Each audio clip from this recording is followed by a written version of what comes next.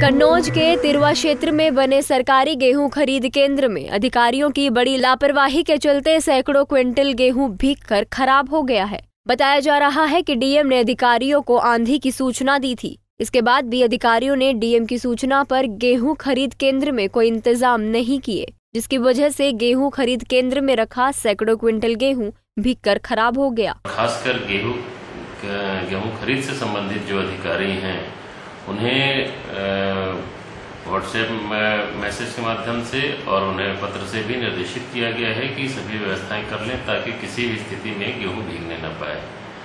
लेकिन संज्ञान में आया है कि कुछ जगह गेहूँ भीगा है तो इसमें निश्चित रूप से कार्रवाई की जाएगी। इसमें एसडीएम को और डिप्टी आरएमओ को भी भेजा गया है और इसमें जो भी दोषी होगा वो जिम्मेदार होगा। और पहले से ही इसमें हम लोगों ने उन्हें आगाह कर दिया है कि यदि भीगा तो केंद्र प्रभारी और उस संस्था के जिला प्रभारी दोनों उत्तरदायी होंगे।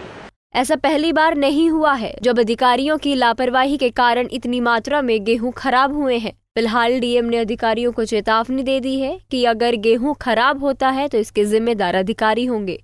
कन्नौज से नित्या मिश्रा की रिपोर्ट।